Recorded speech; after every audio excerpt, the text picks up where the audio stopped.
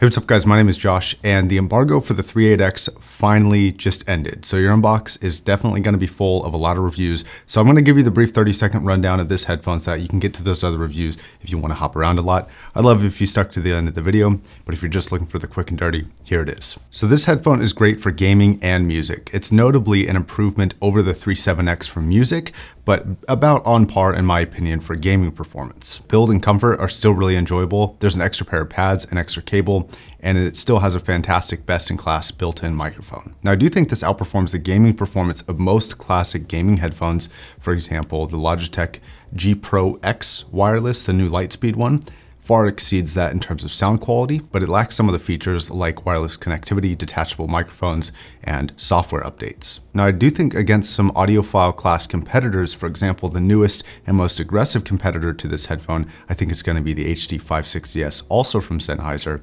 This headphone is a little bit clearer, a little bit crispier, a little bit more forward in the treble response, and it's going to maintain an overall more detailed approach to music, but lacks the lower mid-range warmth, bass response, and soundstage capability that the 38X has. Now, in my opinion, these both go head to head for sound quality. The 38X is actually that good, but if you like a smoother performer or you game at all, I would get the 38X. If you just listen to music and want a little bit faster, more clinical sound, get the 560S. So that's gonna be it for the brief introduction. Hopefully you stick around for the full review, and that starts right now. Now to intro this headphone, I think this is one of the few cases where the upgrade in model actually justifies the upgrade in price. They pretty much took everything, in my opinion, that was great about the 37X and improved improved it and upgraded it in the 38X. They didn't take anything away in my opinion, but they only added things. And in my book, that actually justifies a price difference. Now in my review of the 37X, I specifically stated that I thought they were amazing for gaming and just okay for music. That is actually different here. I think that the gaming performance is on par with the music performance. And I think that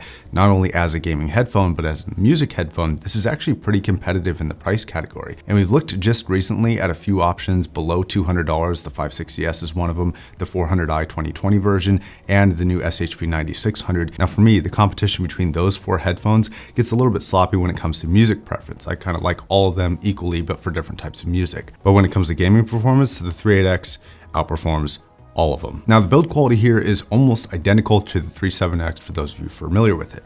It's got a plastic chassis, Unlike the 37X, this is actually a bit more of an open back design. Instead of having that louver style design over the grills, this is more of a mesh showing the yellow fabric underneath.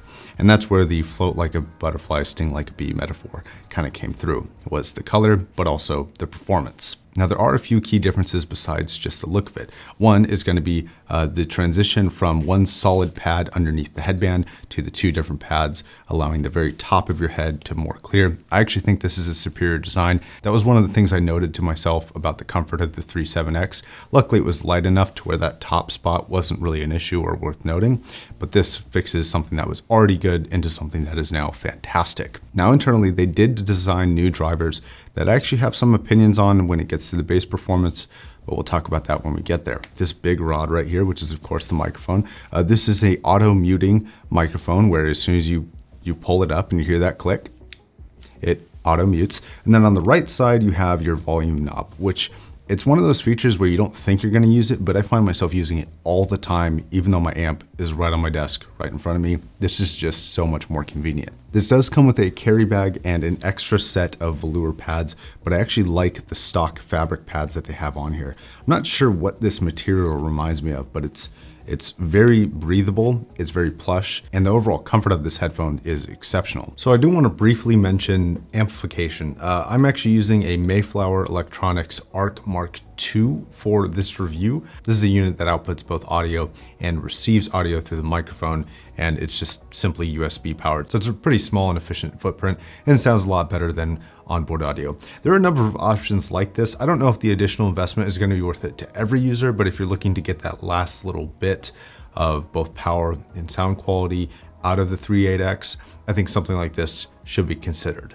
Oh, and I will also have a review separately of this coming out shortly. Now, the treble response is something that I would consider to be good, but ultimately just kind of skirting under the line of passable for the price range. There are definitely things that outperform it, like the aforementioned 560S, that has a little bit more finite treble response. Uh, but it's notably not really what this headphone is about, and it actually comes back with a vengeance in some other categories. Now for those 58X owners, the treble response reminds me a little bit of that headphone because it's detailed, it's not too forward, but it's still present. It doesn't completely ignore the area, and it's still got a decent bit of information that you can capture with these drivers. Now this is notably one of the only categories where I think this headphone actually gets outperformed by music by a decent margin depending on which headphone you go to. Now the mid-range is actually the biggest improvement over the 37X and is the entire reason why I prefer this headphone for music and don't prefer the 37X for music.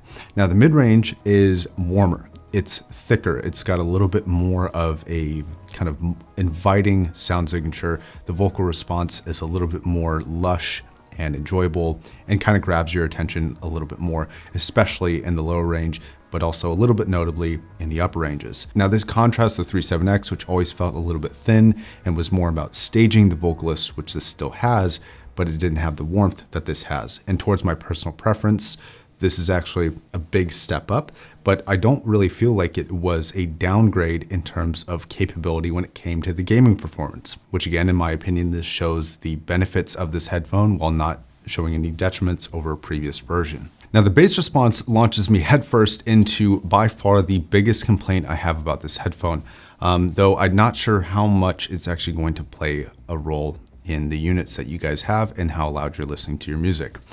So uh, if you remember a while ago, they had the Focal Elex, also a drop headphone, but the issue with that headphone was typical of uh, Focal themselves.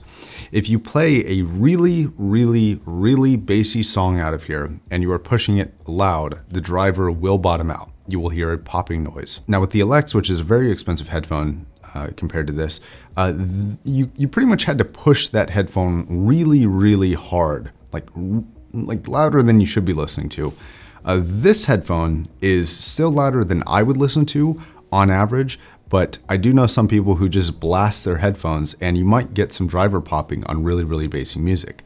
Now, this is music that is already like uber boosted in the bass response, you know, like plus 20 dB in the bass compared to everything else, that type of music. So if you listen to a lot of that stuff, you know, stuff that they use to show off the subwoofers in cars, that type of music, I don't think it's gonna be well suited for this. Now the Elex, from what I know, it didn't actually affect the longevity of the drivers in the headphones.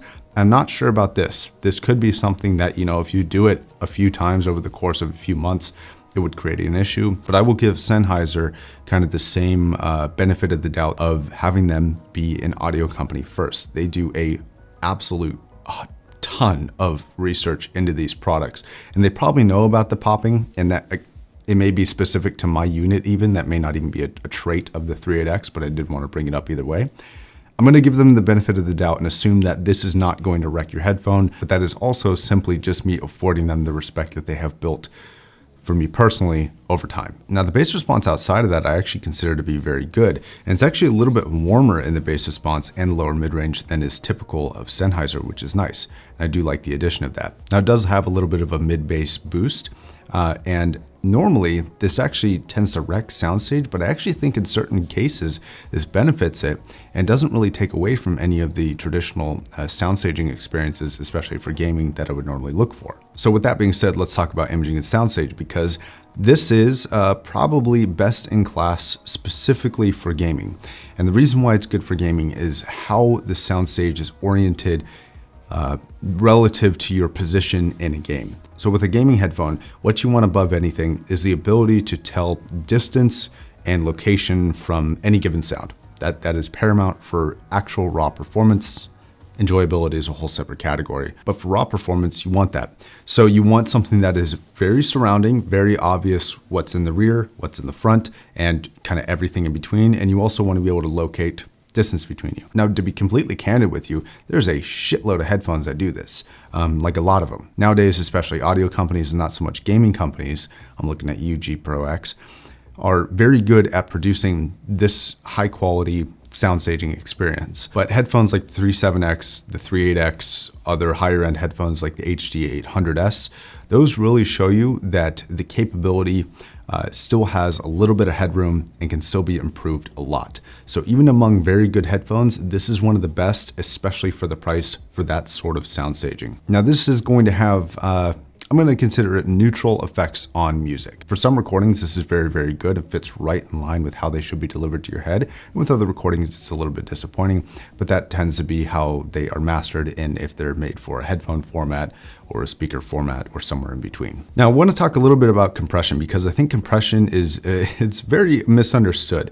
Um, for audiophile headphones, I think you want a little bit of compression. Uh, you don't want a lot, but you don't want an uncompressed sound because a headphone with real dynamics is, you don't want that. You're gonna wreck your hearing in like five minutes because a gunshot with proper real life dynamics is just gonna blow your eardrums, legitimately. So that's a bad thing. So I think we can all agree that a little bit of compression is good. It's just a degree of how much uh, to maintain realism.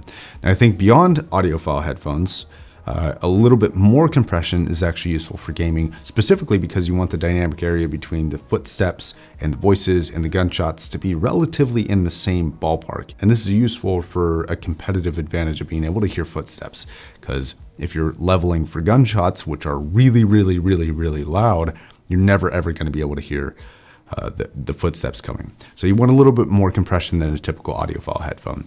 Now this is somewhere in the balance between what I would consider good for an audiophile headphone at the price and good for a gaming headphone at the price. Now the way that I would kind of describe this in terms of what you hear is that this is a compressed headphone, but it doesn't sound compressed.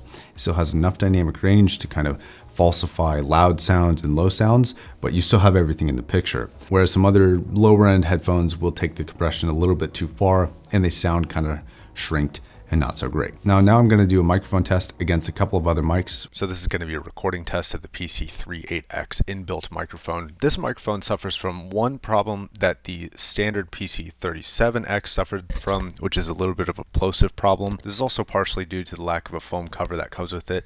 Uh, and it's also partially due to the fact that a lot of these inbuilt microphones have this problem. I leave it down here to avoid the plosive problem and I think it sounds pretty alright.